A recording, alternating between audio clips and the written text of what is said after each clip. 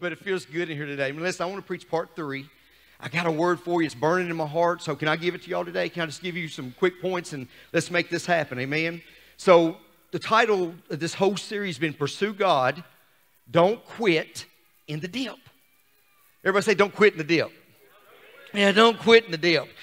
Don't quit in the dip. And let me go ahead and preface this a little bit. If truth be told, if truth be told today, every champion has felt it. every president has felt it. every king has felt it. Every winner in life down here has felt it. Every soldier that fought for our land and our country has felt it. Every victorious person has felt it. And truth be told, if you're a true man or woman of God in here today, you have felt it the urge to quit. Come on. You, if, you, if you've done anything for God, now listen, if you're not working for the kingdom, Satan got you right where he wants you. You can come to church and be as far away from God as you've ever been in your life. You can. I see it all the time. Listen, what God is doing here is special. I wouldn't take anything from what God's doing at this church. Is it uncomfortable? Yeah. Good. I'm so thankful for that. But listen, I want you to lean in this morning because I want to speak this over every person. Every person here today, every, every marriage, every child, every youth, every single person who's listening and watching by Facebook, wherever you're at, I want you to lean in and I want you to lean in good because listen to me, don't you quit. I'm going to say it again. Don't you quit men and women of God, youth group, marriages, listen, you're a valuable person to God's kingdom. If not, he'd have took you on home. You are valuable to this house. You are valuable to your spouse. You are valuable to whatever you're going on in life. But look at me. Don't you quit. Don't you quit. I'm going to say it again to y'all get it. Don't you quit. Turn to and say, don't you quit in the dip. Come on, talk to me today. Don't you quit in the dip. Don't you quit in the dip. Ecclesiastes chapter 3. I love Ecclesiastes. It tells us about 28, everybody say 28. It tells us about 28 different seasons in the Bible, 28 different times of life. It says there's a time to be born, there's a time to die. There's, there's a time for planting, there's a time for reaping. There's a time for laughing, and there's a time for crying. There's a time for weeping, and even don't care if Baptists believe this or not, it says there's a time to dance. The Bible says there's a time, listen to this, there's a time on earth, on earth, right now, in every season, but not one time out of 28 seasons of life does it say there's a time to quit. Not one time. I don't know who I'm preaching to today, but somebody in here is on the urge, on the, the verge, and you're, you're thinking about, man, I'm, I'm out of this marriage. I'm out of this church. I'm out of this, my life. I hate work. I hate all this stuff. Listen to me. Don't you quit. Don't you quit. Here's what I'm trying to preach. Here's what I'm trying to preach. Everybody wants a blessed life. And watch this. You ready? You can have it. Matter of fact, let me go ahead and preface this a little bit. You really already have it. You're just looking at it wrong. Because you're looking at every mountain as a setback. Huh. But I serve a God that may set you back to set you up. He may set you back to set you up. He may set you back. You may be in the valley, but there's still a mountain. There may be something going on in your life. You say, Brian, I'm tired. I'm weary. I'm worn out. Welcome to life. Welcome to church. Who in, the, who in God's green earth said you can come to church and have it your way? Who said that? Listen, when you got people, you're going to have problems. We better learn to get along with each other. Preach it, head coach. I think I will. We better learn to love one another. We better learn how to fight for one another. We better learn how to stand up.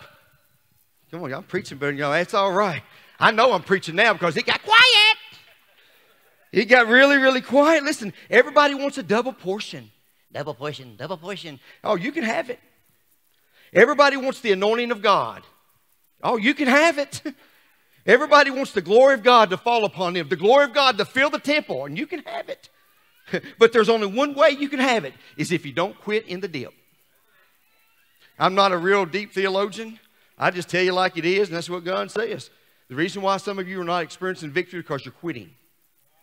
Some the, so the reason why some of you are not experiencing a full and abundant life is because you're halfway in and you're halfway out. You're halfway sold out, and the matter of fact, the Bible calls that lukewarm. He said, You want to make God sick?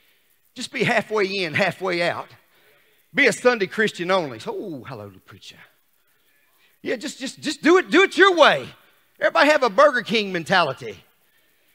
Just have it your way. And I wrote this down in my personal notes, and if you're a note taker, I want you to take this down. God is not in the business of replacing damaged people. God is in the business of fixing damaged people.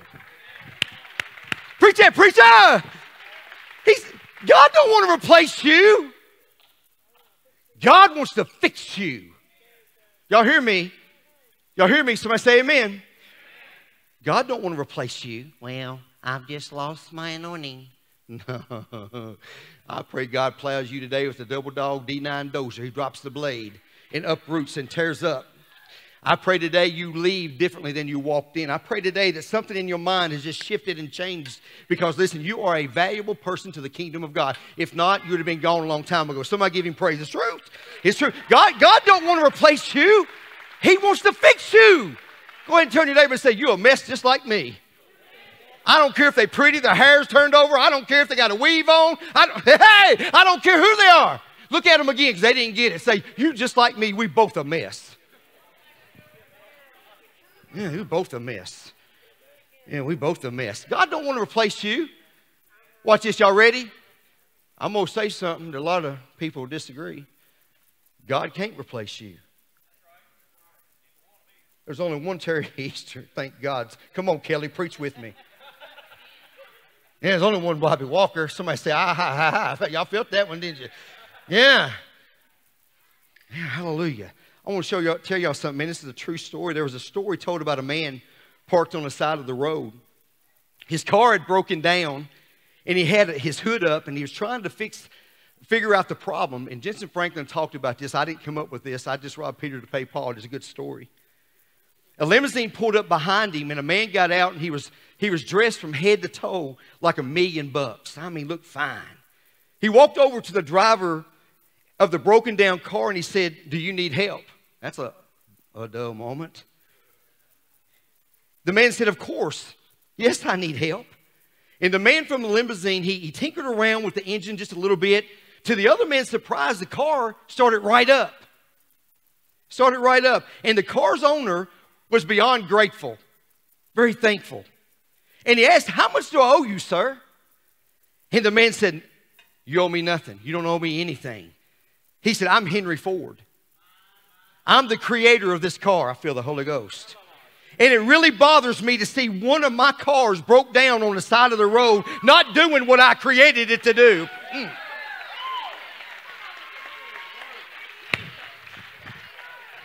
We got a creator and his name is God. Hallelujah. And it bothers God when he looks down from heaven and he sees his church not doing what he created her to do. It bothers God when he looks down on creation and he sees humanity fussing and fighting and racism and killing and all the nasty things he didn't create her to do. It bothers God when He looks down from creation and sees marriages that He said, I do, and put them together, but they're not functioning together. God created us for signs, wonders, and miracles. God created, it, whether you believe me or not. He said, You know what? Hey, there was not no hospital on First Jerusalem Street. God said, I've given you. Y'all may not like this kind of preaching, but it's time that the Bible is proclaimed back in the church today. It's time for the church to lay hands upon the sick and they shall recover. It's time that signs, wonders, and miracles come out of your life today. It's time to get prophecy and tongues and all the things. Hey, that's all right, y'all. I, I'm going to tell you, God did not create me or you to be broken down on the side of the highway. Just telling you, man. The, listen to me, I'm telling you, it bothers God. When whatever you're going through, I thank God. Listen, this is hard. But Chris Wilson a while ago, He prayed a prayer and it stuck in my spirit. He didn't even look at my notes.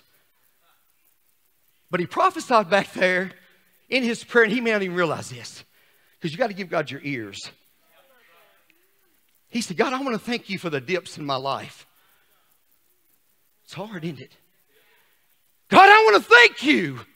See, here's how you get faith. When you're the point in your walk, your walk, it's not about how you feel. It's not about how people look. It's not about what's going on in just your life.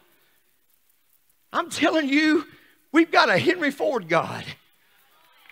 And he does not want his church sitting on the side of the highway, broken down, busted, and disgusted, and don't know what's going on. I'm here today to proclaim, under the anointing of God, things are lining up for God's glory. His church is lining up for him to come back. And you know what? In the last days, the Bible said, there'll be greater things that you will do than what his son did, Jesus, when he well, I the Holy Ghost. Uh. Listen, I'm glad God's changed. I'm praise God. And y'all can look at me sideways if y'all want to. I am a divorced man, but I praise God for the dip. It ain't your story. Quit judging people. Ah, yeah, sugar diabetes. Fuss, fuss, fuss, fuss, fuss. 200, 200, 250, 150. Up, down. This, and I finally got up this morning. Crazy, Logan. I said, God, evidently you're okay with this. And God, I today I want to thank you that you've given me the power and the wisdom to handle sugar diabetes and not sugar diabetes handle me. Y'all are let, we're letting, we, we, we. If anything, I feel the Holy Ghost. If anything comes through these spiritual doors, it's because the church allowed it. Of course, the devils and demons are going to try to come in here and stop everything that God is doing in there. Of course, if you've got a God sent marriage, don't sit there and say, Well, we good today, baby. Watch out tomorrow. Yeah, the, the, yes, the devil is going to do what the devil was created to do. And don't think that worship is going to get you out of your season. Because he was a worship leader in heaven and he got thrown down. Let me so I'm trying to preach really good. I'm trying to teach y'all, disciple y'all, to teach me. How do we live? How do we get out of the dip? How do we get out of the dip? Listen to me, whatever you're going through, whatever has happened to you, whatever loss or pain that you feel in your heart, listen, there's no time to quit. 10,000 Southern Baptist churches should have never shut their door, and I may be the only one that's going to stand up and proclaim that. But if God is greater in me than He is in the world, why are we shutting the doors? Why are we quitting? Brian, you just don't know my situation. You better be glad I don't. God does. God don't wait. God did not wake up this morning and go, man, I forgot about that one. God never has, has an oops moment. He don't. Well, Brian, what about 9-11? He knew about it. What about 6 million Jews, Holocaust, uh, that died? He knew about it. What about my sugar diabetes and my sickness? He knows about it. This is not our home, y'all. See, we know that here. If we believe the Bible like we say we believe the Bible, how many of you know dying ain't half bad?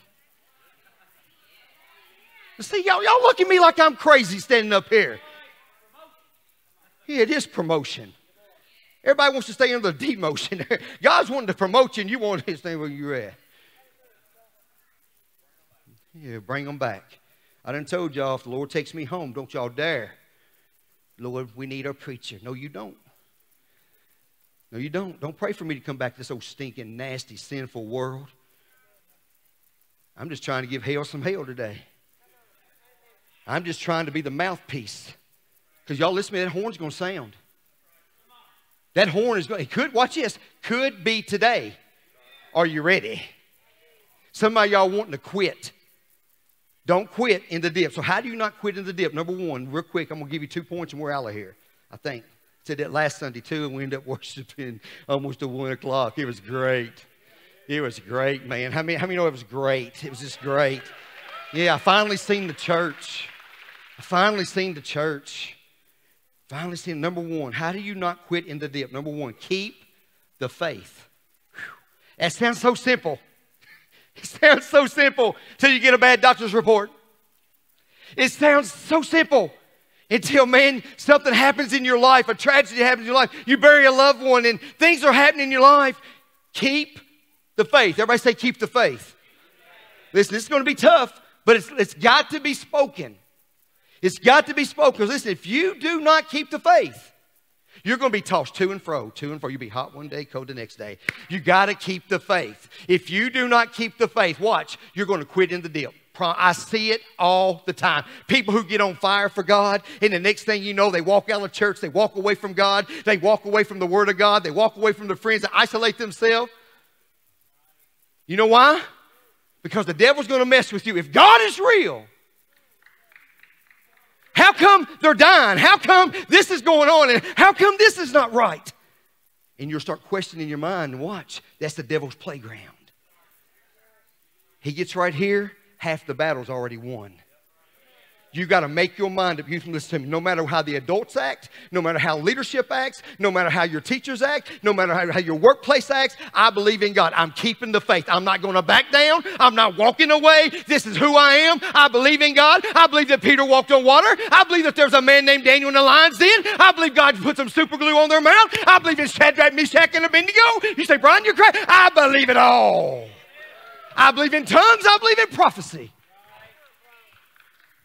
Got to come in time in your life where you quit debating the Bible and start believing the Bible. That was a game changer for BRAF. That was a game changer for me.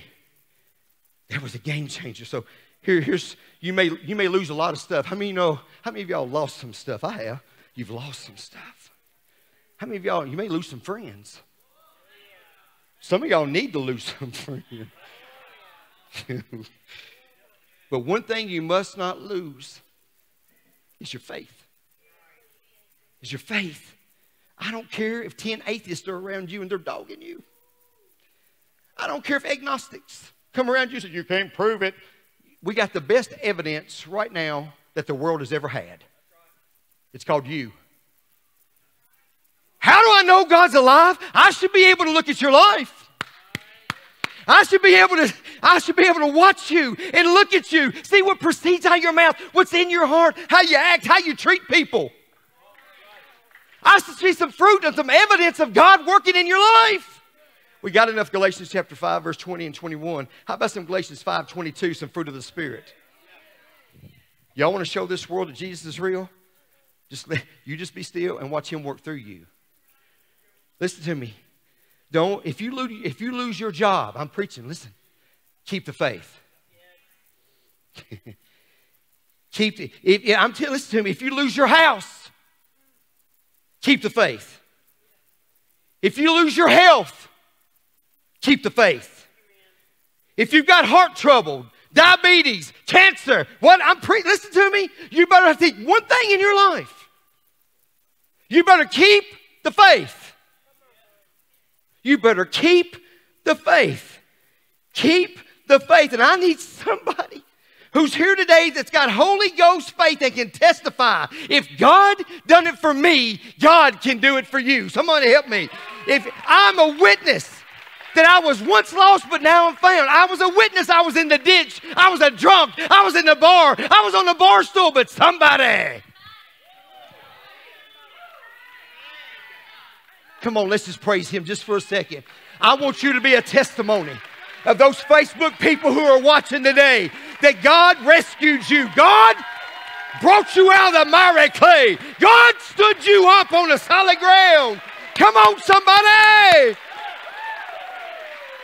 Hallelujah. Yeah, because watch this. It's not if you're going to have troubles and trials and tribulations. It's when. You know the worst thing that I see out of Christians, or so called Christians, is man, when the going gets tough, they, they, they back off. You know, it's something when somebody's dying, that's the real you. You know, when somebody's dying on their deathbed, I had a lady from this church. She was in her late 70s. She called me one day and she said, I need you to come to my house. All the way there, Willie, I was sitting there thinking, I'm like, I, I need to go back and get my oil because I know she wants me to pray for her to get healed. I know that when I walk in there, she's going to say, lay hands upon the sick and they shall recover. I walked into that house and she said, come here and sit on the side of my bed.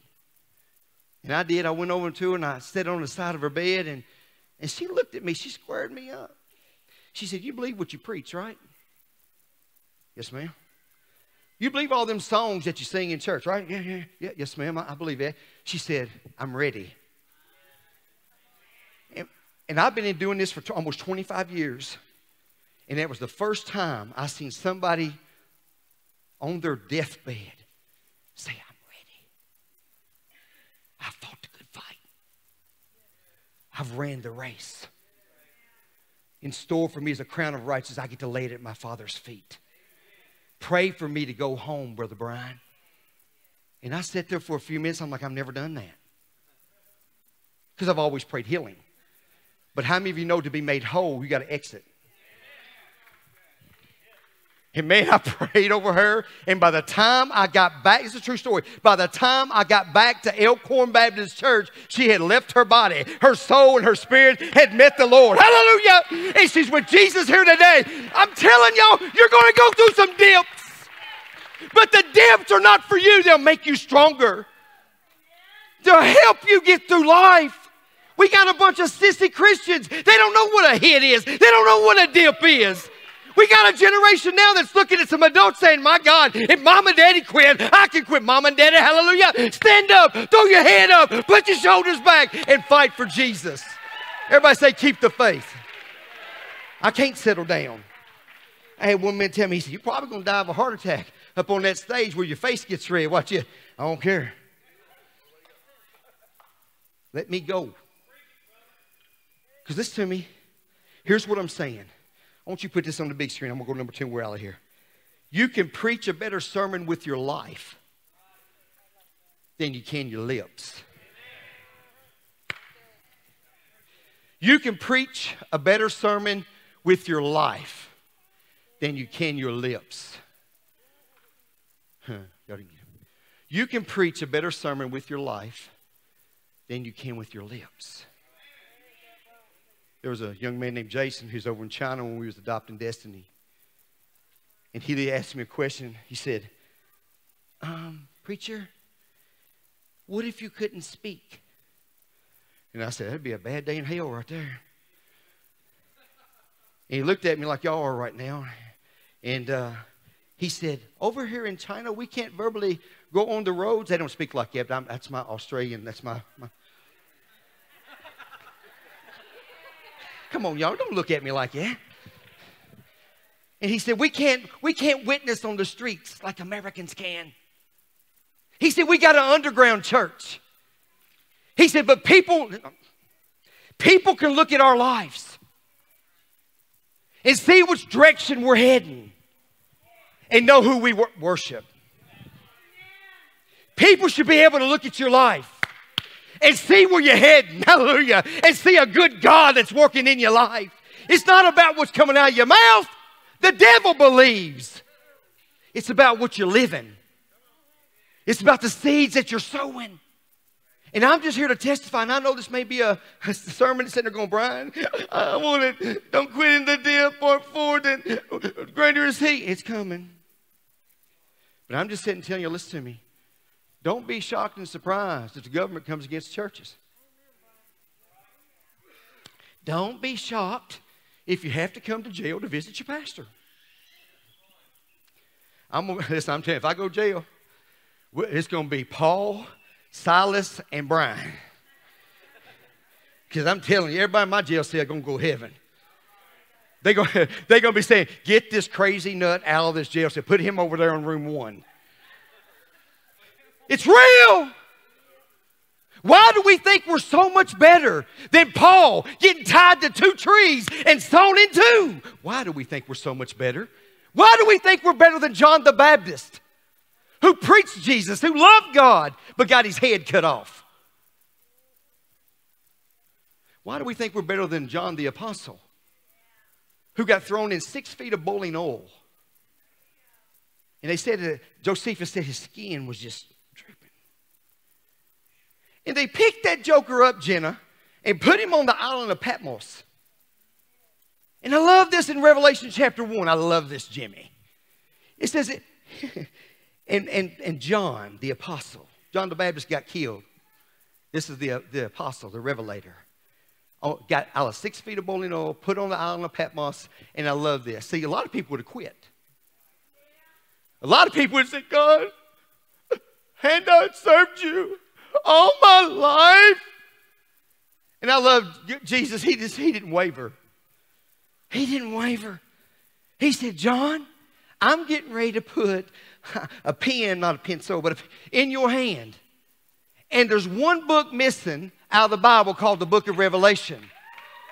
And if John the, the apostle, the revelator, would have stopped, quit in the dip, I'm telling you, the book of Revelation would not have had the power and the anointing that he had while he was sick and hurt. Some of you have dropped the pen. Some of you have quit. Some of you are sitting under my teaching today and you're sitting there going, Brian, how did you know? It's not me, it's the Holy Ghost. The book of Revelation was written with a man who just got out of six feet of boiling oil. Ski. Coming down, his hands all withered up. I don't, I don't know. I'd like to say I could write it, but you know what? God's working on me. We all got room to grow. And I hope this challenges you, but the book of Revelation, the Bible says, and it was the Lord's day. And whether you believe this or not, it was the Lord's day. And the Bible says, and John was in the Spirit. Because, see, the Spirit can do things that your flesh can't. Y'all didn't hear the word. Your spirit can do things that your flesh can't. Your flesh is wanting you to stop. Your flesh is wanting you to quit. Your flesh is wanting you to bow down. Your flesh is wanting you to bow out. But I'm telling you, God says there's somebody living in you that is greater than anything, any obstacle, anything you're going up against right now. And His name is the Holy Spirit. He's great, and He'll get you out. Same way He got you in, He'll get you out. Yeah, well, I'm in trouble. He'll get you out of trouble. Well, Brian, I'm in a ditch. He, he's a good ditch remover. I'm telling you, he'll get you out of the ditch. You say, What's going on? I'm telling you, listen, you can preach a better sermon with your life than you can. Look, number two, believe God is going to do what he says he's going to do. Y'all wouldn't believe the phone calls, the emails that I get from people. No, no wonder churches are shutting their doors. If I was the devil, it's not Paul Harvey, but if I was the devil, I would do exactly what he's doing to some of you right now. He's trying you, he's telling you, if God is real, how come this is happening? And so, here's the thing He's messing with you. He's messing with you. But you got to believe, you got to have faith. You got to believe God is going to do what He says He's going to do. Listen to me. God is always doing more than what you can see. God, right now, right now, some of y'all are needing a financial blessing. What if you were to just to thank God for the blessing that's already come, the checks in the mail? You say, Brian, I don't believe in that price. Why you broke? And I understand there's people over in Kenya, Africa. My, one of my missionary friends sleeps on a dirt floor. But he's more blessed on a dirt floor than some of you are on carpet.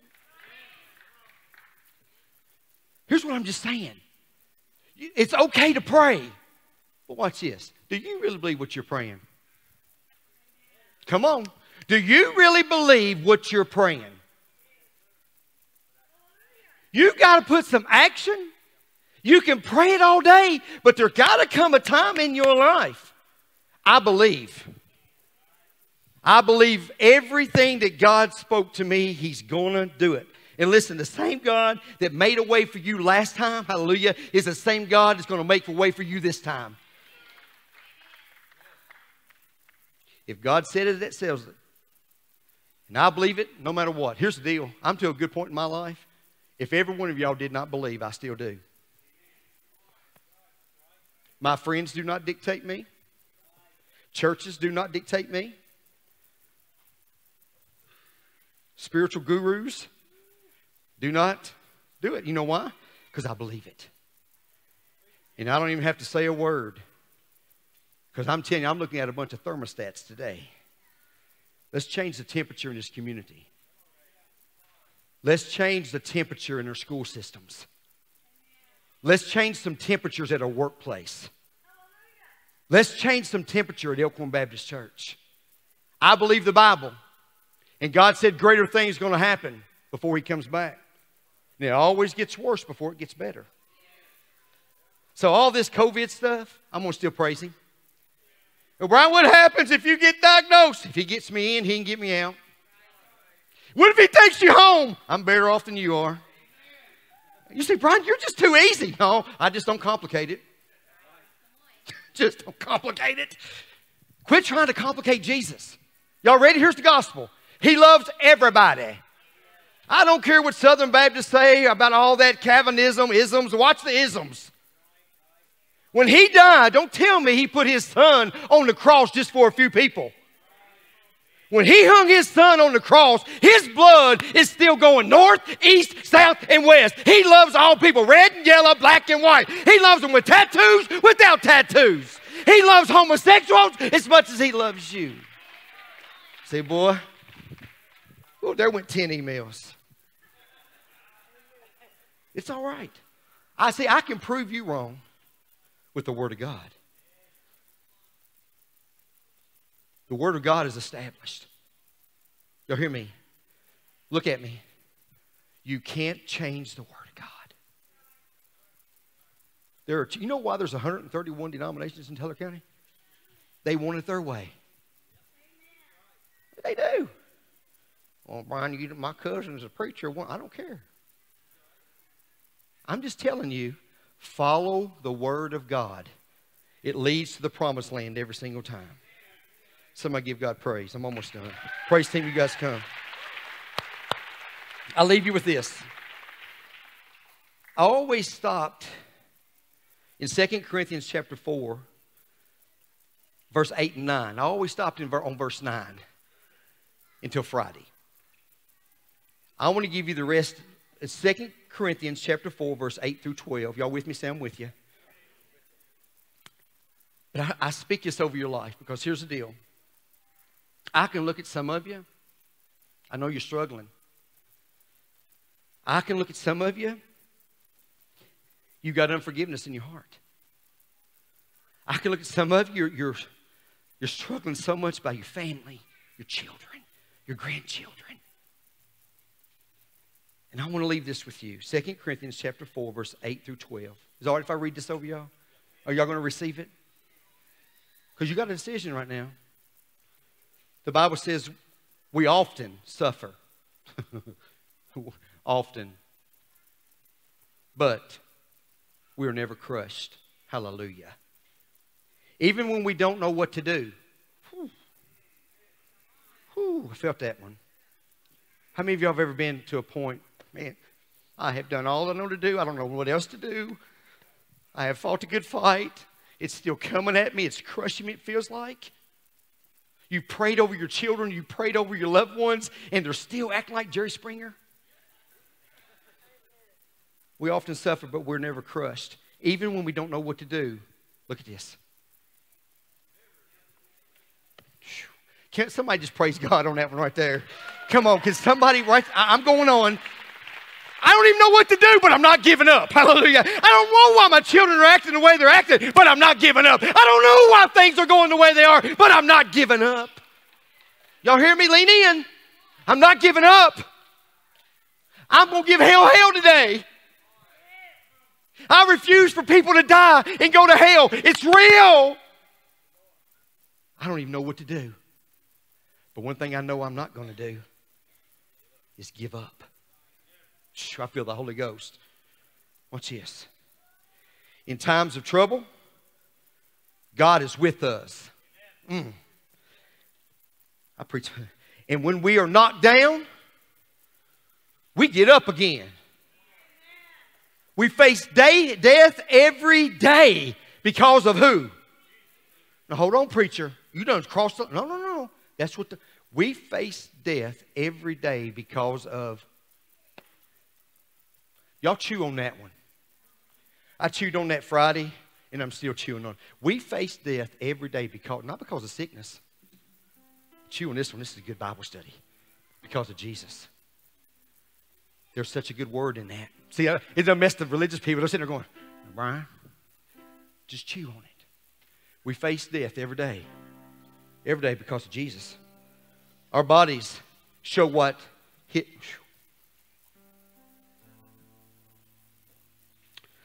Our bodies show what his death was like. So that his life can also be seen in us. Wow. This means that death is working in us. Uh oh. But life is working in us. So you're going through some stuff to show this world that you're no better than Jesus. He went through some stuff. That's why I take moments like this serious. People who come to church and patty cake and sit there and don't worship. You mean to tell me? I it ain't about a shout, but the shout's in me. This stuff's real. I bank on it. I put my life on it. I'll fight you for it. I sure will. You may whip me, but you ain't gonna whip me in the spirit. Look at me. Somebody here today, why are you going through what you're going through? It's because of Jesus. You are evidence that if Jesus made it, you can make it. No matter what the deal is, no matter what the situation is, no matter what's going on in life, no matter if you got a bad doctor's report, watch this. Keep the faith. Keep the faith. And God, evidently, you know what's going to happen. You know my body. You know this. You're God. You're sovereign. You know everything about me, God. But I choose you. I'm not going to stop. I'm not going to quit. It don't matter if the whole world turns against you, God. As for me and my house, I'm going to worship you. Oh, God, we love you in this house. I'm not going to stop. I'm not going to stop. I'm not going I'm not, I'm not, I'm not. Some of y'all right now, you just need to make your minds up. Get, get the quit option out of your mind. Get it out of your mind. Stop it! Jimmy, Allison, don't you stop. You know why? Because evidently God knows. He said, You're going through what you're going through, not for, not for that, because of Him. You are proof, you're evidence. Because you're a man of God and you're a woman of God. Hallelujah. He'll never put on more on you than what you can handle. Why? Because He's carrying you. We pay more attention to stuff. They don't like me. They didn't like Jesus. What? teenagers. I'm preach this for me. No, I'm listen to me. Listen to me. This is for real. They're not gonna like you. You answered the call to preach, right? Here, stand up just for a minute. We're going to make this public right now. Y'all know, he said, oh, God, that's right. No, listen. Listen, this is for real. This is a senior at Campbellsville. I'm alumni. I can, hallelujah. Yeah, yeah, yeah, yeah. Two things good come out of Campbellsville. I'm joking. I'm joking. I'm joking. Let me stick in the vein. Let me stick. He's called to preach. It's our job it's our job to disciple him, to grow. I'm glad he's in a Holy Ghost Spirit filled church that he can get taught right. That we don't have the power or the authority to tell God what he can do and what he cannot do. All things are possible with God working through this young man. So you're, you're called to preach. So you're called to preach, right? All right. Called to preach. Listen to me. I'm going to help you really quick. This is great 16 weeks at Campbellsville University right here. They're not going to like you. Now give me $702. I'm joking. I'm joking. They're, not going to like you. When you when you preach, they're not going to like you. Your family's not. Your mom and daddy will, your brother. But other than that, man, good luck.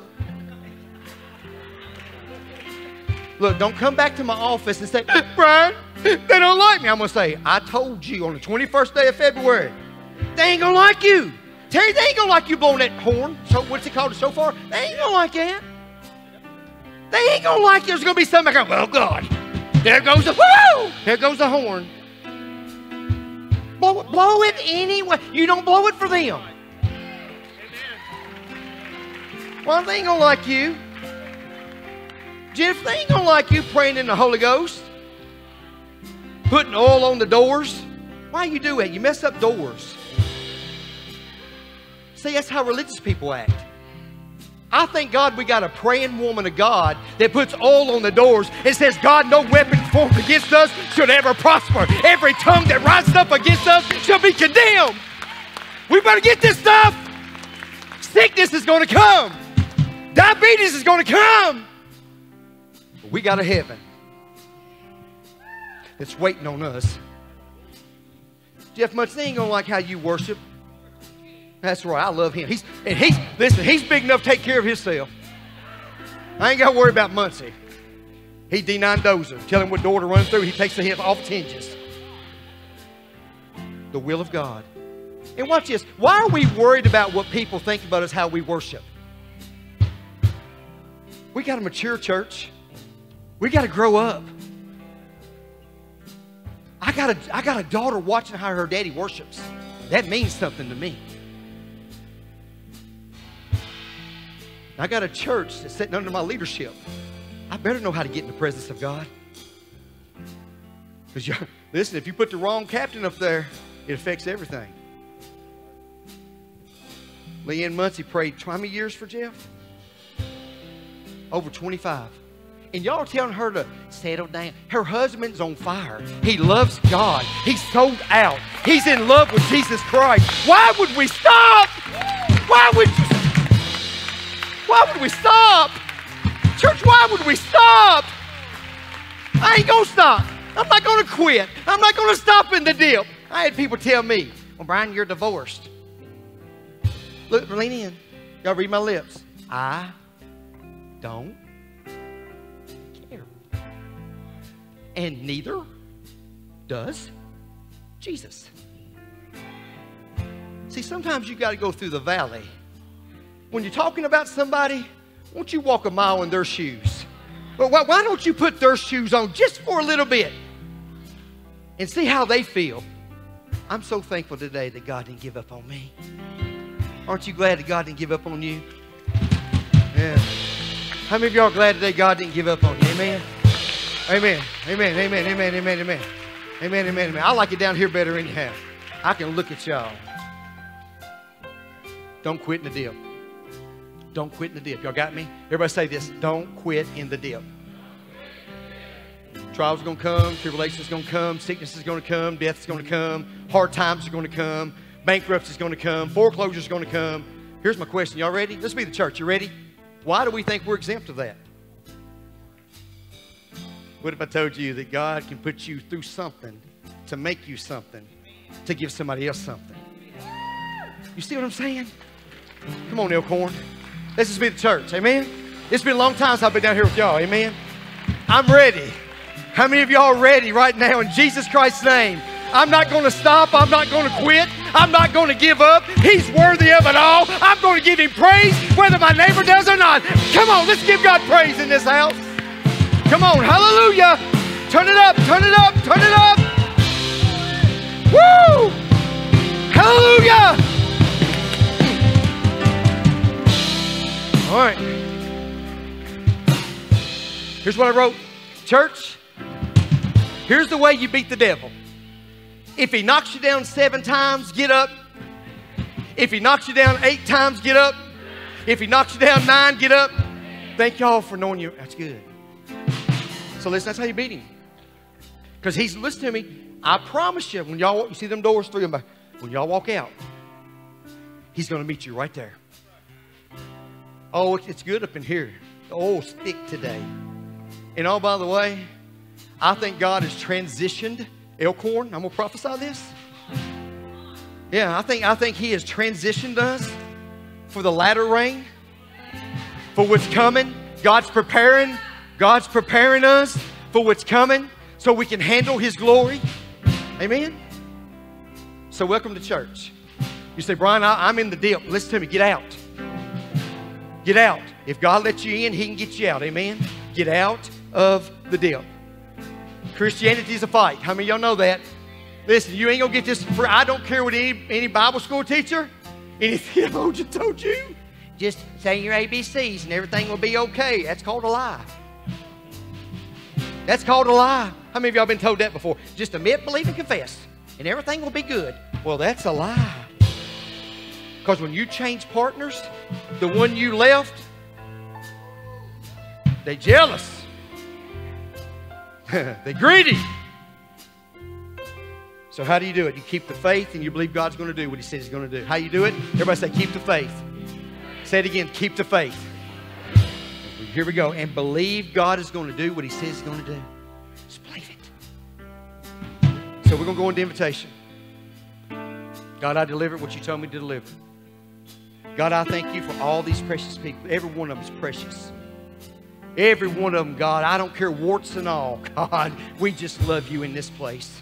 I'm so thankful to be a part of a church to God that believes in the hope of Jesus Christ. That believes, God, we don't have to stay in the dip. So, God, right now, rescue somebody. Hallelujah. Rescue somebody right now, God. Rescue that marriage. Rescue them, them youth and children. God, rescue us in this place. God, well, hallelujah. Lord, save us from ourselves. Oh, that's a word right there. Lord, save us from ourselves. And God, I pray we worship you today like it's our last worship service. God, I know you failed last week, but God, fall again. We welcome you, Holy Spirit. Bless this praise team. Anoint them. Let them walk in your favor. Bless these people. Keep them. May your countenance be upon them. May you be gracious unto them and give them peace. In Jesus' name. Everybody look at me. Don't quit in the don't quit in the don't quit in the don't y'all quit. Don't y'all quit. Look at me. I love y'all. Don't y'all quit. Senior in high school, been tough, hasn't it? My heart breaks for the senior class. But here's what I'm excited about. Y'all have got so much Jesus in you. You know how much of a, a blessing y'all can be to other students? Man, listen. I know it's been tough, but get out of that dip. Encourage them. Wrap your arms around them. Say, listen, I know it's a tough season. I know we may not get to walk across the stage, but God's already walked across my stage. God is the encore. God is the best thing that's happened in my life. And if He done it for you, and if He done it for you, He'll do it for all of us. Amen? So in Jesus' name, this altar is open. I love you deeply and dearly. And let's celebrate God. Let's welcome Him back in. Amen? So God, have your way. Shake us like a rug. In Jesus' name. In all God's people say.